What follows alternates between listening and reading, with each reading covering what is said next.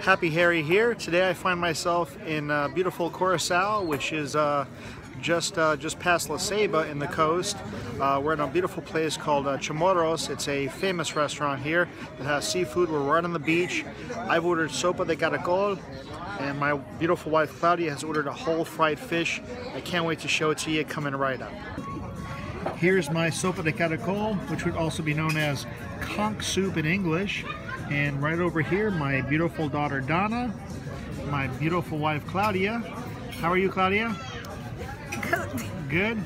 Are you Yes. enjoying your fried fish? Yes. Let's take a look at that right there.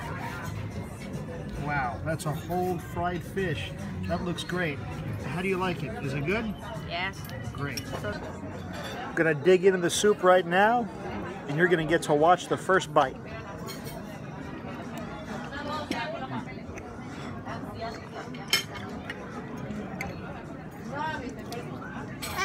I put a little bit of chili in it. It's very spicy. I love it. Chili cabro. The uh, the conch has obviously been hammered with a hammer or some kind of implement to make it really tender.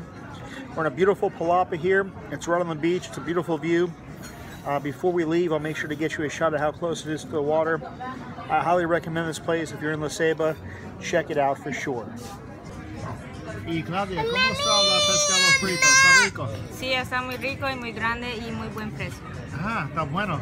¿Y Dana le gusta también? Sí, a ella le encanta. Ay, perfecto. Muchas gracias. Okay. They brought me some white rice on the side, and this is a paste ball here made up of uh, banana and coconut. You break pieces off of that, and you put in the soup. It's just so tasty. I can't wait to, to dig in more. And of course, it wouldn't be complete without the old Salva Vida. And now after a great lunch, Chamorro's has a little plunge pool, and Donna and Claudia are enjoying. It's been a great day. I can't wait to show you more tomorrow. Thank you so much for tuning in. Please make sure to hit that like button, hit that subscribe button, and watch my videos. Thank you.